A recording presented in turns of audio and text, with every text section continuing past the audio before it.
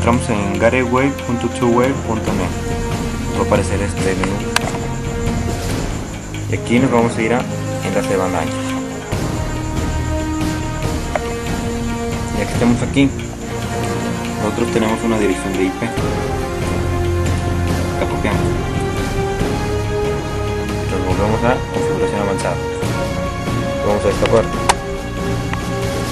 IP de banda ancha vamos en configurar manualmente. E insertamos la IP que teníamos.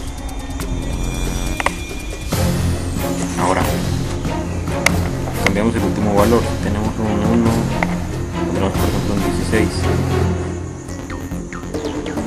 vamos a guardar en este momento nuestro modem se va a desconectar. Si nos llega a marcar foco rojo quiere decir que no hubo conexión a internet